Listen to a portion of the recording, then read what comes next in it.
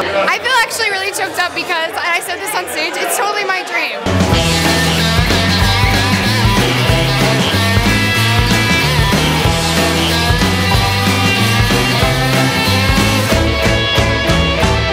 When the crown big kicks can't go no more. Jack holds that wheel, Jack don't let go. We can't quit now, he whispers over and over while the picture of his wife floats slow to the floor.